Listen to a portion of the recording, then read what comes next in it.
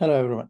So once the interviewer has asked you the basic questions, he's going to move into more technical questions in terms of how the attacker moves once he has enough information about your environment, at least from the external perspective.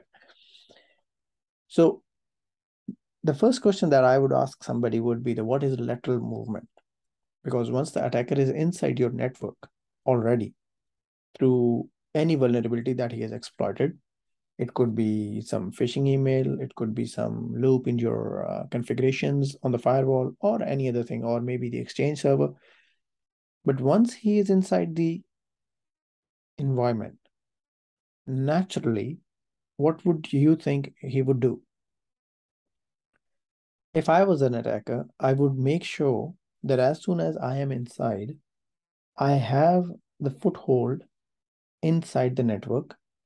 I have a backdoor inside the network that even if somebody detects my presence, I should have that particular backdoor so that I can come back inside. It could be a rootkit. It could be some other shell that I plant in, inside the network. The second thing I'm going to do is before I get detected is to move inside the network.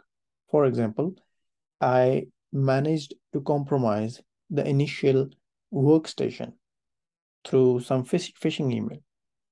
Now that workstation is not going to be very useful for me. What I need to know, do is from that workstation, move to the other workstations and then to the servers and then to the highly prized environment maybe in the DMZ, maybe in the web servers, maybe in the Active Directory. Totally depends on the the goal of the attacker. Where does he want to go?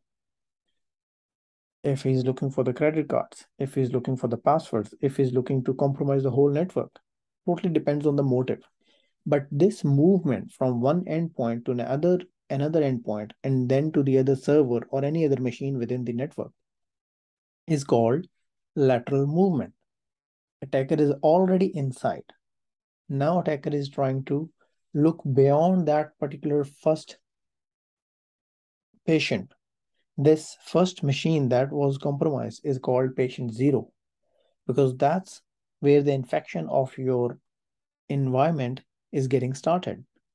And once you have a compromised machine, the attacker is going to move into your network from one step to another, from one machine to another, trying to compromise as many machines as possible, trying to escalate his level of privileges from a, maybe a user account to a domain account to administrators of the servers, trying to gather as much as power that he can get.